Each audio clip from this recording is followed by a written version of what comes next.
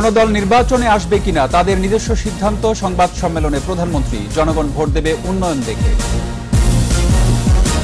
খালেদা জিয়া ছাড়া নির্বাচনে যাবে না বিএনপি আবারও বললেন ফখরুল সমঝোতার মাধ্যমে তফসিল ঘোষণার দাবি। প্রচারে ব্যস্ত দুই সিটির প্রার্থীরা উন্নয়নের প্রতিশ্রুতি খুলনায় ফ্যাক্টর এক লাখ বস্তিবাসীর ভোট। গ্রীষ্মে জাতীয় গ্রিডে যোগ হচ্ছে আরও দুই হাজার মেগাওয়াট বিদ্যুৎ, বিতরণ ব্যবস্থা, উন্নয়নের তাগিদ বিশেষজ্ঞদের। রাজধানী সহ বিভিন্ন স্থানে ঝোড়ো হাওয়া, ফেরি, নৌযান চলাচল ব্যাহত, বজ্রপাতে নিহত আট।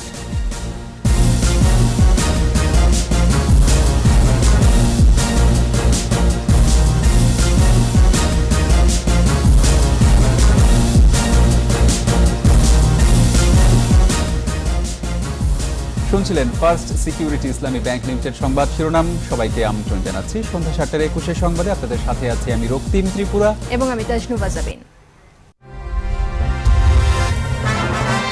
এগিয়ে চলো কল্পনার রাজ্যে। সংবাদে আরও থাকছে। বঙ্গবন্ধু সাফারি পার্কে বাড়ছে দর্শনার্থী যোগাযোগ ব্যবস্থার উন্নয়ন ও নিরাপত্তা বাড়ানোর দাবি দরকার ট্যুরিস্ট পুলিশ।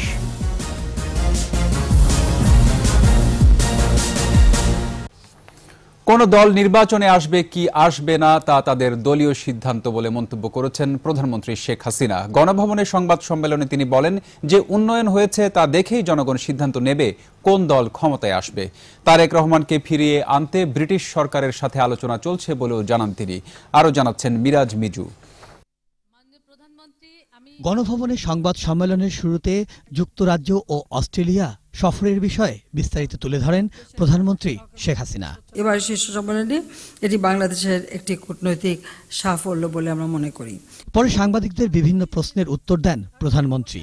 খালেদা জিয়াকে ছাড়া আগামী নির্বাচনে বিএনপির আশা না আসা নিয়ে এক প্রশ্নের উত্তরে শেখ হাসিনা বলেন খালেদাকে আইনিভাবেই মুক্ত করতে হবে। তবে নির্বাচনে আসা না আসা তাদের দলীয় সিদ্ধান্ত বলেও মন্তব্য করেন তিনি। দশ বছরের মধ্যে বিএনপি প্রমাণ করতে পারল না তার বড় বড় আইনজীবীরা যে সে নিরাপরাধ। এখন চিৎকার করে আমাদের বিরুদ্ধে আন্দোলন করে। আর নির্বাচনে আসার ব্যাপারে নির্বাচন এটা হচ্ছে গণতন্ত্র। কোন পার্টি নির্বাচন করবে কোন পার্টি করবে না এটা তাদের দলীয় সিদ্ধান্ত। তারেক রহমানকে লন্ডন থেকে ফেরত আনতে ব্রিটিশ সরকারের সাথে আলোচনা চলছে বলেও জানান প্রধানমন্ত্রী। ব্রিটিশ গভর্নমেন্টের সাথে আমাদের আলোচনা চলছে। দশটা অস্ত্র মামলা থেকে শুরু করে আমরা মানি লন্ডারিং থেকে শুরু করে নানা ধরনের অপরাধ। অপরাধ তো একটা না। অবশ্যই আমরা আমাদের প্রচেষ্টা থাকবে যে এই ধরনের অপরাধীকে বাংলাদেশে ধরে নিয়ে আসা। আরেক প্রশ্নের উত্তরে প্রধানমন্ত্রী জানান রোহিঙ্গাদের ফেরত নিতে জাতিসংঘ নিরাপত্তা পরিষদ মিয়ানমারকে চাপ দেবে। চীন ভারত রাশিয়া সহ সবাই চায় রোহিঙ্গারা রাখাইনে ফিরে যাক। সিকিউরিটি কাউন্সিলের যে মেম্বার এসেছিল সেখানে কিন্তু সব দেশের প্রতিনিধিরাই কিন্তু এসছে। এবং তারাও চায় যে এরা ফিরে যাক। এমনকি তারা ঘর বাড়ি তৈরি করে দিতেও রাজি। এখানে চীনও বলেছে ভারতও বলেছে জাপান বলেছে টার্কি বলেছে সবাই এমনকি রাশিয়া প্রত্যেকেই কিন্তু প্রস্তুত। সংবাদ সম্মেলনে সড়ক দুর্ঘটনা রোধে পথচারীদের ট্রাফিক আইন সম্পর্কে সচেতন হওয়ারও আহ্বান জানান প্রধানমন্ত্রী। সাজাপ্রাপ্ত কোন আসামিকে কবে মিরাজ মিজু একুশে টেলিভিশন ঢাকা। এদিকে খালেদা জিয়াকে ছাড়া জাতীয় নির্বাচনে না যাওয়ার ঘোষণা দিয়েছেন বিএনপির মহাসচিব মির্জা ফখরুল ইসলাম আলমগীর।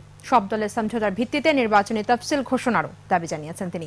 জাতীয় প্রেস ক্লাবে এক অনুষ্ঠানে এসব কথা বলেন বিএনপির মহাসচিব। এর আগে শ্রমিক দলের প্রতিষ্ঠা বার্ষিকীর কর্মসূচিতে মির্জা ফখরুল বলেন, ভরাডুবির ভয়ে সরকার বিএনপিকে নির্বাচনের বাইরে রাখার পায়তারা করছে।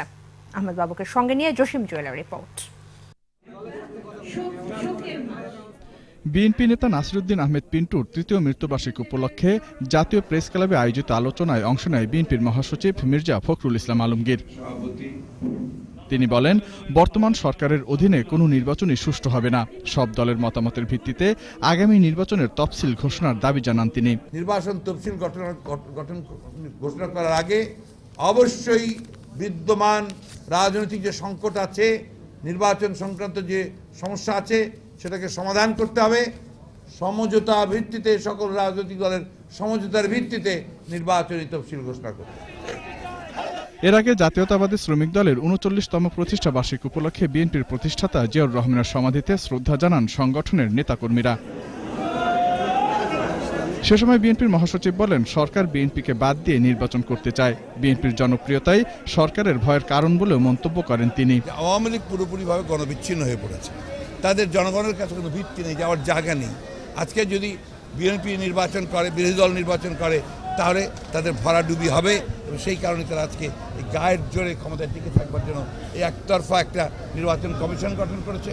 শ্রমিকদের ঐক্যবদ্ধ আন্দোলনের মাধ্যমে অধিকার আদায় করতে হবে বলে উল্লেখ করেন বিএনপির মহাসচিব। অন্ধকার গহব্বর দিকে নিয়ে যাচ্ছে। Jasim Jewel Ekushey television Dhaka. City corporation নির্বাচন প্রসঙ্গ।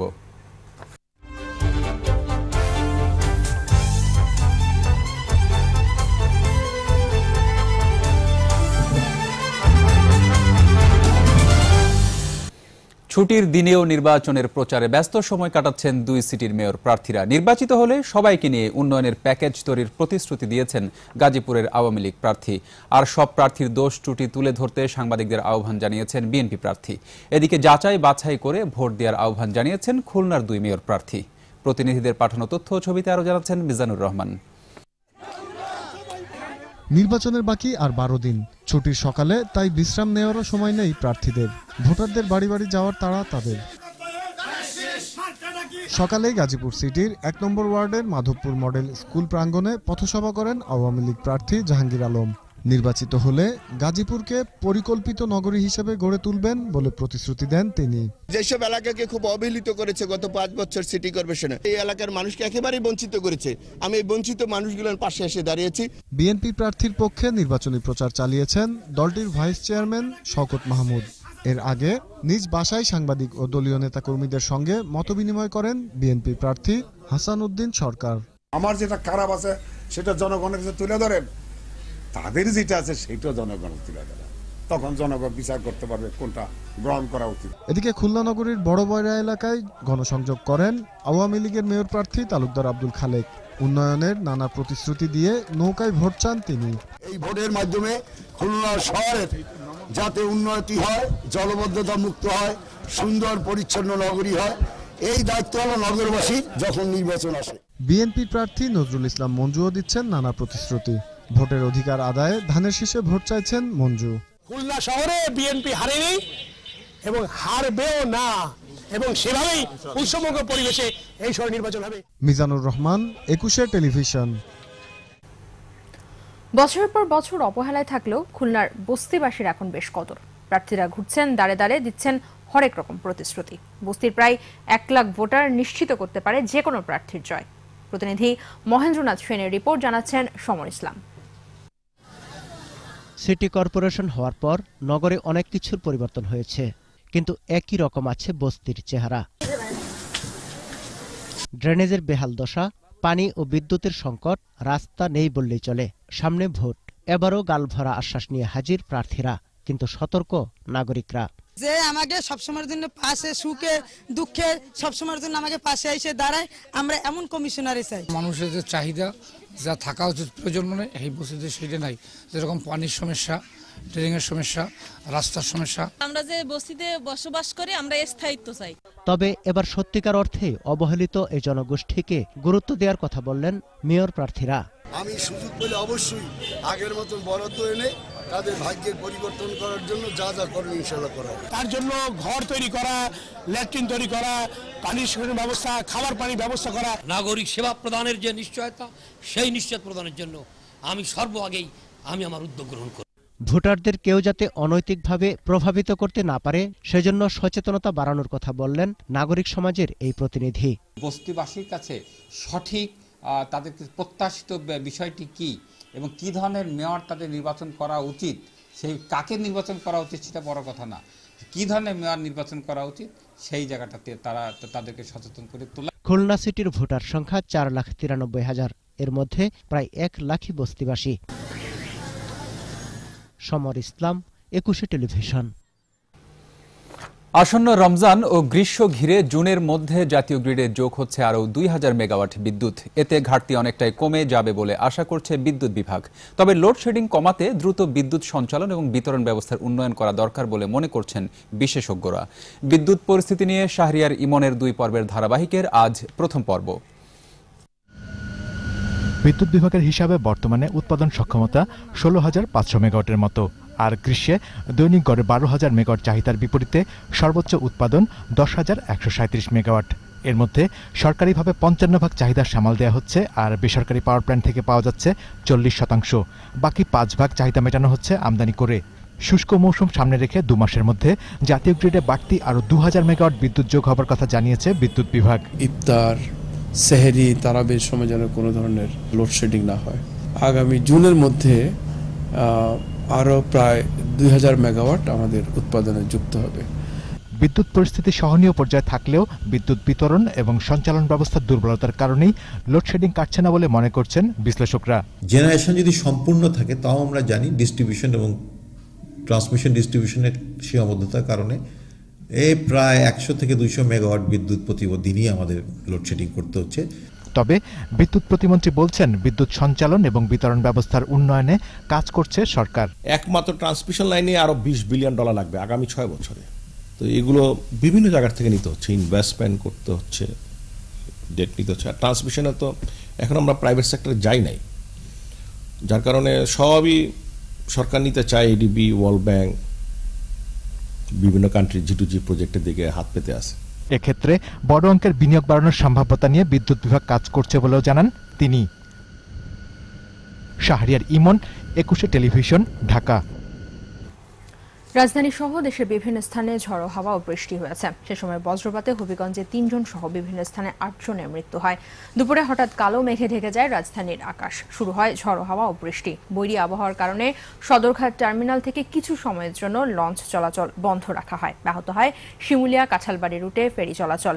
এদিকে ঝড় বৃষ্টির সময় বজ্রপাতে হবিগঞ্জের বানিয়াংচংয়ে দুইজন ও নবীগঞ্জে একজনের মৃত্যু হয়েছে। এছাড়া বজ্রপাতে রাজশাহীর পবায় একজন, সিরাজগঞ্জের কাজীপুরে একজন, নওগাঁর মান্দায় একজন এবং পঞ্চগড় ও কিশোরগঞ্জে আরও দুইজনের মৃত্যু হয়েছে। ঝড়ে মাদারীপুরের শিবচরে ঘর চাপায় নিহত হয়েছে এক বৃদ্ধ। দর্শক, আমরা আপনাদের নিয়ে যেতে চাই গাজীপুরে। সেখানে সিটি নির্বাচনের প্রচারণা চলছে এবং জমজমাট সেই প্রচারণা এই মুহূর্তে নির্বাচনী এলাকায় রয়েছেন সহকর্মী স্মৃতি মণ্ডল। সেখানকার খবরাখবর জানতে আমরা সরাসরি চলে যাচ্ছি তার কাছে। স্মৃতি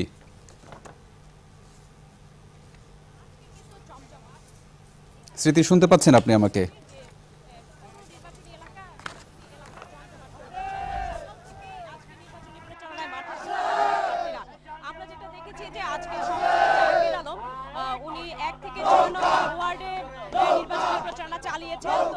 একটা বিষয় লক্ষণীয় যে আজকে দুপুরের পর থেকে কিন্তু বেশ বৃষ্টি ছিল, যার কারণে যার কারণে অনেকটাই বিঘ্নিত হয়েছে নির্বাচনী প্রচারণার কাজ আজকে।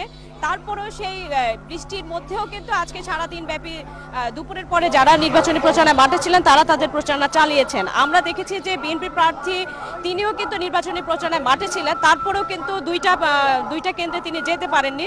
কারণ হচ্ছে যে বৃষ্টিতে তাদের সেই স্পটটা নষ্ট হয়ে গিয়েছিল।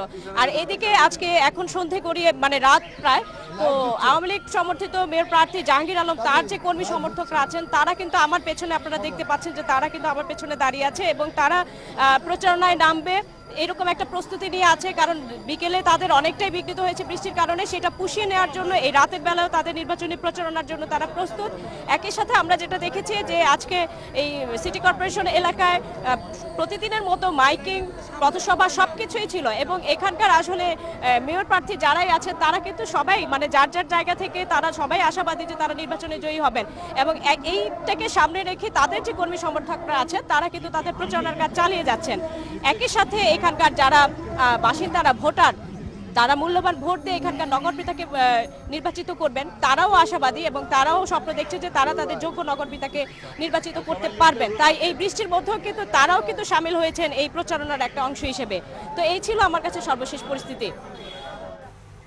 গাজীপুর থেকে স্মৃতি সিটি নির্বাচনের প্রচারণার খবর জানাচ্ছিলেন আমাদের সহকর্মী স্মৃতিমণ্ডল দর্শক এ পর্যায়ে নিচ্ছে ইসলামী ব্যাংক বিরতি যখন ফিরছি তখন অন্যান্য খবরের সঙ্গে যা থাকবে। ছুটিতে বাজারে ক্রেতা কমলেও ঊর্ধ্বমুখী সবজির দাম। রমজানে মূল্য স্থিতিশীল থাকবে জানালেন বাণিজ্য মন্ত্রী। ঝিনাইদহের ট্রাক ইজিবাগ সংঘর্ষ এক নারী সহ নিহত পাঁচ। আবার আমন্ত্রণ সন্ধ্যা সাতটার একুশে সংবাদে। দুই সিটি কর্পোরেশন নির্বাচন সামনে রেখে ভোটারদের ভয়ভীতি দেখাতে নির্বাচনী এলাকায় সন্ত্রাসীদের জড়ো করছে বিএনপি, এমন অভিযোগ করেছেন আওয়ামী লীগ নেতারা। সুষ্ঠু নির্বাচনের স্বার্থে দ্রুত তাদের গ্রেফতারের দাবি জানানো হয়েছে। দেশে বিদেশে অপপ্রচার আর ষড়যন্ত্র বিএনপির মূল কাজ বলে অভিযোগ করেন আওয়ামী লীগ নেতারা। আরও জানাচ্ছেন প্রণব চক্রবর্তী। গাজীপুর এবং খুলনা সিটি কর্পোরেশন নির্বাচন পরিস্থিতি জানাতে ধানমন্ডিতে আওয়ামী লীগ সভাপতির রাজনৈতিক কার্যালয়ে এই সংবাদ সম্মেলন। আওয়ামী লীগের যুগ্ম সাধারণ সম্পাদক জাহাঙ্গীর কবির নানক অভিযোগ করেন সুষ্ঠু নির্বাচন বিএনপির পছন্দ নয়। তাই নির্বাচন কমিশন নিরপেক্ষভাবে কাজ করলেও সিটি নির্বাচনে ভরাডুবির ভয়ে নির্বাচনী এলাকায় সন্ত্রাসী কার্যক্রম চালাচ্ছে বিএনপির নেতাকর্মীরা। বিএনপির জন্ম হয়েছে দেশের সাংবিধানিক প্রক্রিয়ার কবর রচনা করে। তাই সুষ্ঠু অবাধ নিরপেক্ষ নির্বাচন ব্যবস্থা তাদের পছন্দ নয়। বিএনপি ভোটারদের এই উৎসব মুখর পরিবেশের বিপরীতে মানুষের মাঝে ভয়, ভীতি, উস্কানি ও বিভ্রান্তি সৃষ্টি করছে। সরকারি সম্পদ ধ্বংস এবং আগুনে মানুষ পুড়িয়ে হত্যাসহ নাশকতা মামলা দাগি অপরাধীদের সারা বাংলাদেশ থেকে এনে গাজীপুরে জড়ো করছে বিএনপি। আমরা সুষ্ঠু শান্তিপূর্ণ নির্বাচনের স্বার্থে অবিলম্বে সন্ত্রাসীদের গ্রেপ্তারের দাবি জানাচ্ছি। এ সময় দলের প্রচার সম্পাদক হাসান মাহমুদ বলেন দেশের উন্নয়ন অগ্রগতি পছন্দ করে না বলেই দেশ বিদেশে অপপ্রচার চালাচ্ছে বিএনপি। প্রকৃতপক্ষে তাদের সকাল বিকালের সংবাদ সম্মেলন দেখে মনে হয় যে হতাশাগ্রস্ত ব্যক্তি এবং হতাশাগ্রস্ত দলের সকাল বিকাল আবুল তাবুল প্রলাপ ছাড়া অন্য কোনো কিছু নয়। আওয়ামী লীগ নেতারা বলেন বিএনপি হতাশাগ্রস্ত দল। তাই আলোর পথে থাকা দেশকে তারা অন্ধকারে নিমজ্জিত হিসেবে দেখছে। উন্নয়ন স্ববিরোধী কথা বলেন এটি ওনাদের অভ্যাসে পরিণত হয়েছে। প্রণব চক্রবর্তী একুশে টেলিভিশন ঢাকা। লম্বা ছুটিতে ক্রেতা শূন্য রাজধানীর কাঁচা বাজার। এদিকে প্রায় সব ধরনের সবজির দাম ঊর্ধ্বমুখী আর চড়া দামে বিক্রি হচ্ছে বেগুন আর শশা অপরদিকে প্রতি কেজি চালের দাম কমেছে পাঁচ থেকে ছয় টাকা। পাশাপাশি মাছের বাজারও অনেকটাই স্বাভাবিক, তবে রোজার আগে নিত্য পণ্যের দাম বাড়ার আশঙ্কা করছেন ক্রেতা বিক্রেতারা। তহিদুর রহমানের রিপোর্ট। রাজধানীর কারওয়ান বাজার। শবে বরাতের পরের দিন হওয়ায় খুব একটা নেই ক্রেতা বিক্রেতা। টানা কয়েকদিনের বৃষ্টির অজুহাতে বেড়েছে প্রায় সব ধরনের সবজির দাম। সবচেয়ে বেশি বেড়েছে বেগুন আর শশার দাম। বেগুন কালকে ষাট টাকা ছিল আজকেও ষাট টাকায়। শসা কালকে বিক্রি হয়েছে তিরিশ টাকা কেজি আজকে বিক্রি হচ্ছে ষাট টাকা কেজি। টমেটোর পাইকারি বেশি পঞ্চাশ টাকা কেজি চল্লিশ টাকা পঞ্চাশ টাকা কেজি। খরচা দাম আমরা বেশি আমার দোকানে নাই আমাকে রেট বেশি ষাট টাকা বেশি। দোকানও কম। হ্যাঁ আর দামও মোটামুটি রিজনেবল মনে হয়েছে আমার কাছে। তবে রোজার শুরুতে হয়তো দাম বেড়ে যাবে। মাছের সরবরাহ যেমন কম ক্রেতা বিক্রেতাও কম। পাঁচশো গ্রাম ওজনের ইলিশের হালি দুই হাজার সাড়ে সাতশো থেকে আটশো গ্রামের প্রতিটি ইলিশ বিক্রি হচ্ছে আটশো টাকায়। তবে মাগুর শিং আর শোল সহ অন্যান্য মাছ বিক্রি হচ্ছে আগের দরেই। এখন পর্যন্ত রিজনেবল আছে। চারশো টাকা করে নিলাম বড় রই যেগুলো। সিজন মানে শেষ পর্যায়ে মাছ নতুন মাছ লাগবো আর পুরান মাছ কমে যাচ্ছে দাম বাড়বো। এখন স্থির আছে। এখন আগামী সপ্তাহে বা এই সপ্তাহের পর শেষ দিকে কি হয় এটা আর কি। রমজানের গুরুত্বপূর্ণ পণ্য ছোলার কেজি সত্তর থেকে পঁচাত্তর টাকা। এছাড়া ভালো মানের মিনিকেট আটান্ন থেকে ষাট টাকা আর মোটা চাল বিক্রি হচ্ছে পঁয়তাল্লিশ টাকায়। সব ধরনের চাউলে মোটামুটি বস্তাপতি দেড়শো থেকে দুইশো তিনশো টাকা কমছে। একই হিসাবে দাম কমছে এক টাকা পাঁচ টাকা কেজিতে মোটা তারপর মিনিকেট আঠাইশ। গত সপ্তাহে আসলে সত্তর টাকা এই সপ্তাহে সত্তর টাকা ছোলার দাম বাড়ে না যেভাবে আছে ওইভাবে আছে। স্বাভাবিক রয়েছে মাংসের বাজারও। গরুর মাংস কেজি চারশো পঁচাত্তর আর খাসি বিক্রি হচ্ছে আটশো টাকায়। তৌহিদুর রহমান, একুশে টেলিভিশন, ঢাকা। এদিকে রোজায় নিত্য পণ্যের পর্যাপ্ত মজুত রয়েছে বলে জানিয়েছেন বাণিজ্য মন্ত্রী তোফায়েল আহমেদ। কেউ অহেতুক পণ্যের দাম বাড়ালে ব্যবস্থা নেওয়ারও হুঁশিয়ারি দিয়েছেন মন্ত্রী। সকালে ভোলায় অগ্নিকাণ্ডে ক্ষতিগ্রস্ত ব্যবসায়ীদের সাথে মতবিনিময় শেষে বাণিজ্যমন্ত্রী জানান, ছয় মে থেকে টিসিবি খোলা বাজারে পণ্য বিক্রি শুরু করবে। রমজান মাসে বাজার যাতে স্থিতিশীল থাকে, সে ব্যাপারে নজর দিতে ব্যবসায়ীদের আহ্বান জানান তিনি। ভেজাল পণ্য উৎপাদন রোধে মনিটরিং টিম থাকবে বলেও জানান বাণিজ্যমন্ত্রী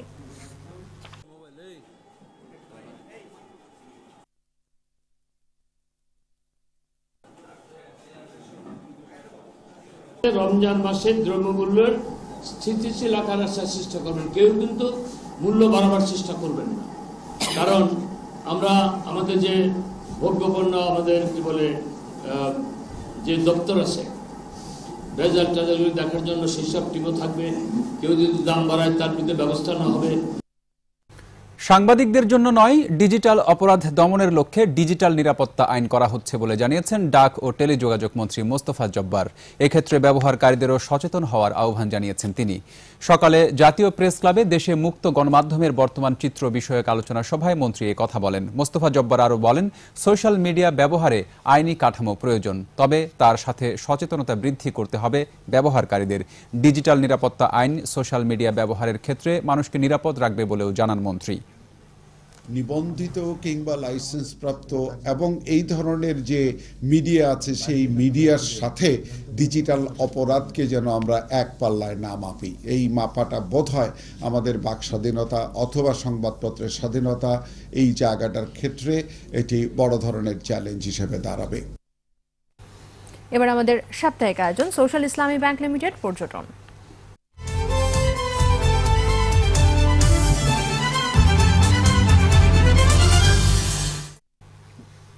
বিনোদন কেন্দ্র হিসেবে গাজীপুরের বঙ্গবন্ধু শেখ মুজিব সাফারি পার্ক এরই মধ্যে খ্যাতি অর্জন করেছে। গাছপালায় ঘেরা এই পার্কের জীব বৈচিত্র্য দেখতে প্রতিদিন ভিড় জমায় হাজারো দেশি বিদেশি পর্যটক। যোগাযোগ ব্যবস্থার উন্নয়ন ও ট্যুরিস্ট পুলিশের ব্যবস্থা করা হলে আরও পর্যটক আকৃষ্ট হবে বলে মনে করেন সংশ্লিষ্টরা। গাজীপুর প্রতিনিধি অপূর্ব রায়ের পাঠানো রিপোর্ট জানাচ্ছেন সদর দত্ত শালবন বেষ্টিত বঙ্গবন্ধু শেখ মুজিব সাফারি পার্ক দু হাজার তেরো সালে দর্শনার্থীদের জন্য উন্মুক্ত করে দেওয়া হয়। এই পার্ক থেকে চলতি বছর আট কোটি টাকা রাজস্ব পেয়েছে সরকার।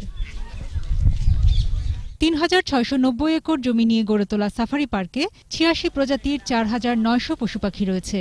প্রতিদিন অসংখ্য দেশি বিদেশি পর্যটক পার্কের জীববৈচিত্র্য ও সৌন্দর্য দেখতে ছুটে আসেন।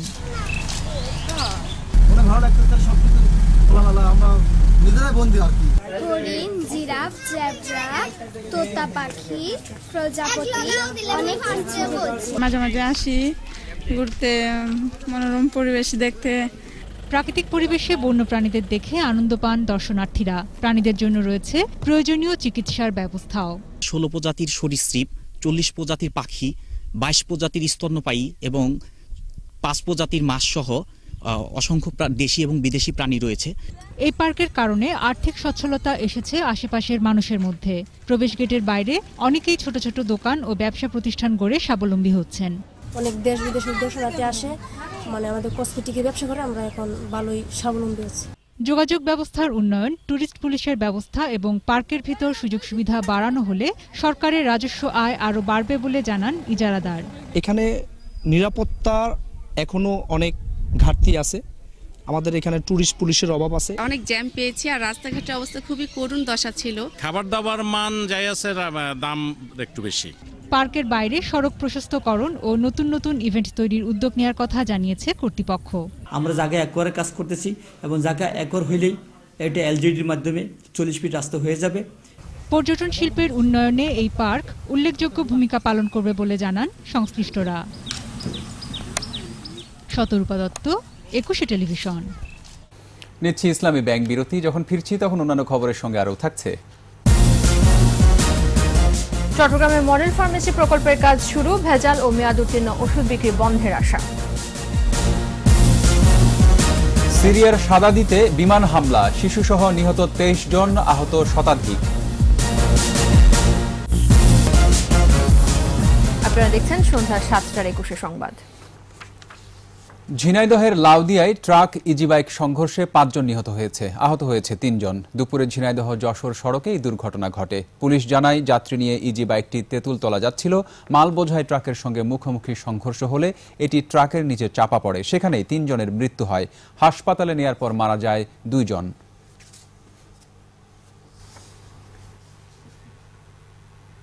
ব্রাহ্মণবাড়িয়ায় সদর হাসপাতালের ডাস্টবিন থেকে এক নবজাতককে উদ্ধার করা হয়েছে। আজ ভোরে শিশুটি উদ্ধার করেন সদর হাসপাতালের অ্যাম্বুলেন্স চালক। বর্তমানে হাসপাতালে তাকে চিকিৎসা দেওয়া হচ্ছে। শিশুটি দত্তক নিতে ইচ্ছুক বলে জানিয়েছেন অ্যাম্বুলেন্স চালক বাবু। এদিকে ঘটনার খবর ছড়িয়ে পড়লে জনতা শিশুটিকে দেখতে সদর হাসপাতালে ভিড় জমায়। এছাড়া আরও কিছু পরিবার দত্তক নেওয়ার ইচ্ছা প্রকাশ করা শিশুটিকে হেফাজতে নিয়েছে পুলিশ।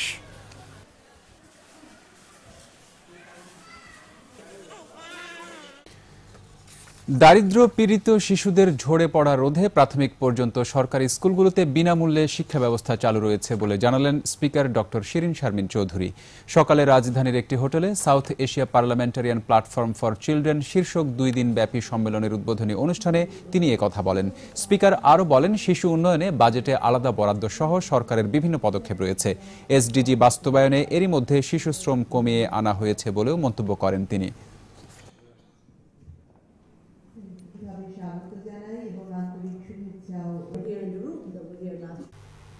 মানসম্পন্ন ওষুধ সরবরাহে চট্টগ্রামে শুরু হয়েছে মডেল ফার্মেসি প্রকল্পের কাজ, জেলার বারোশো ফার্মেসির মধ্যে ছত্রিশটিকে ঘোষণা করা হয়েছে মডেল। এতে ভেজাল ও মেয়াদ উত্তীর্ণ ওষুধ বিক্রি বন্ধ হবে বলে মনে করে ওষুধ প্রশাসন।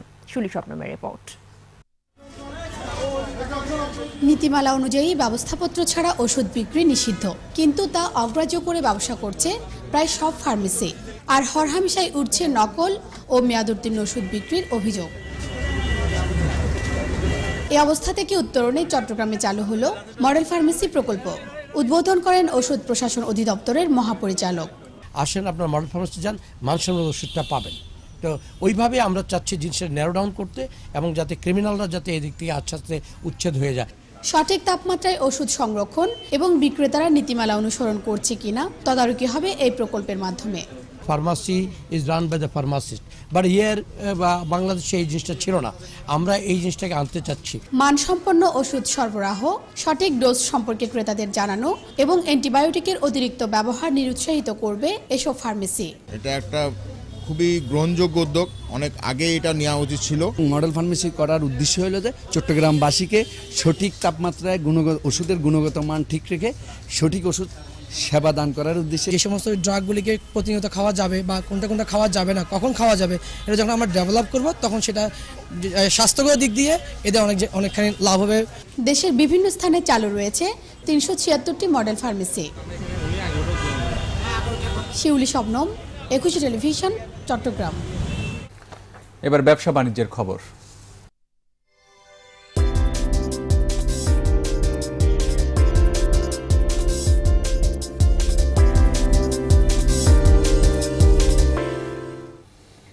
বাণিজ্য ইস্যুতে বাংলাদেশের সঙ্গে কাজ করার আগ্রহ দেখিয়েছে থাইল্যান্ড। ঢাকা সফররত দেশটির বিনিয়োগ মন্ত্রী কসবা পুত্রকুল এ কথা বলেন। রাজধানীর এক হোটেলে দুই দেশের প্রতিনিধিদের বৈঠকে তিনি এ আগ্রহের কথা জানান। থাই মন্ত্রী বলেন, ব্যবসার স্বার্থে ঢাকা, ব্যাংকক কাছাকাছি অবস্থান করতে চায়। বাংলাদেশ, ভারত, চীন, মিয়ানমার পণ্য পরিবহন নেটওয়ার্কের সঙ্গে থাইল্যান্ড অন্তর্ভুক্ত হতে চায় বলে জানান কপসা পুত্রকুল। বৈঠকে বাংলাদেশের বাণিজ্য সচিব সুভাষিস বসু ও এফবিসিসিআই সভাপতি শফিউল ইসলাম মহিউদ্দিন উপস্থিত ছিলেন।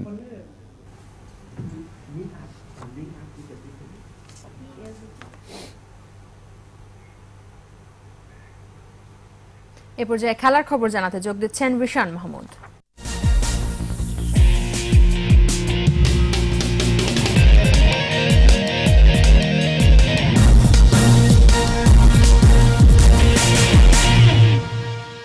ধন্যবাদ। আইসিসি ওয়ানডে র্যাঙ্কিংয়ে তিরানব্বই রেটিং নিয়ে সাত নম্বর স্থানে রয়েছে বাংলাদেশ। ভারতকে পেছনে ফেলে শীর্ষে উঠেছে ইংল্যান্ড। দ্বিতীয় স্থানে থাকা ভারতের পয়েন্ট একশো বাইশ, তিন পয়েন্ট এগিয়ে থেকে একশো পঁচিশ পয়েন্টে শীর্ষস্থানে রয়েছে ইংল্যান্ড। এর আগে দু হাজার তেরো সালের জানুয়ারিতে শীর্ষে ছিল ইংলিশরা। বাংলাদেশের অবস্থার অপরিবর্তিত থেকে সপ্তম স্থানে থাকলেও রেটিং পয়েন্ট বেড়ে দাঁড়িয়েছে তিরানব্বই। এর আগে বাংলাদেশের রেটিং পয়েন্ট ছিল নব্বই। এদিকে জিম্বাবুকে পেছনে ফেলেছে আফগানিস্তান। তেষট্টি পয়েন্ট নিয়ে দশ নম্বরে রয়েছে আফগানরা। আর এগারো নম্বরে থাকা জিম্বাবুয়ের পয়েন্ট পঞ্চান্ন।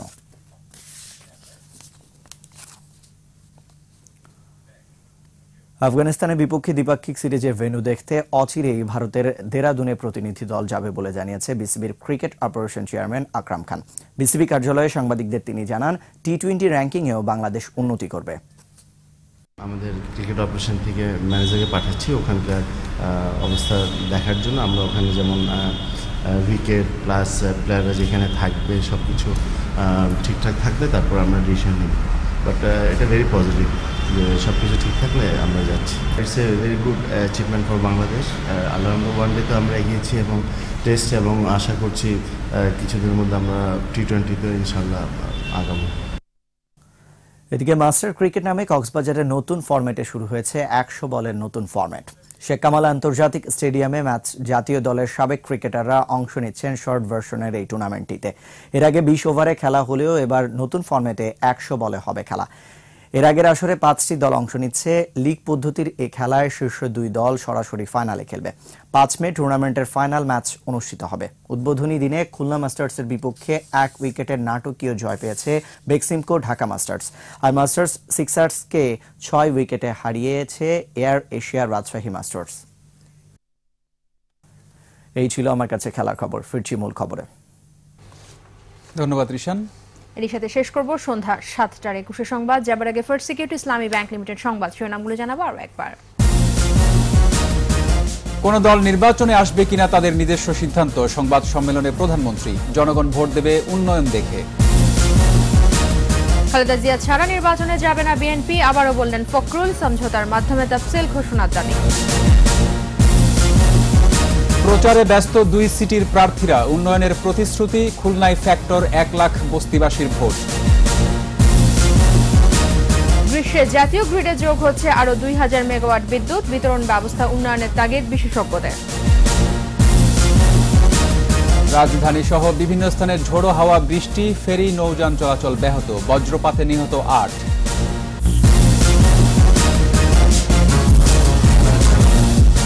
সর্বশেষ খবর জানতে ডায়াল করুন টু জিরো টু ওয়ান নম্বরে আর ভিজিট করুন একুশে ড্যাশ টিভি ডট কম ওয়েবসাইটে। এছাড়া ফেসবুকে লগ ইন করতে পারেন Facebook dot com slash Ekushey twenty four online. আমাদের পরের সংবাদ রাত নয়টায়। দেখার আমন্ত্রণ রইল সবাইকে ধন্যবাদ। ধন্যবাদ।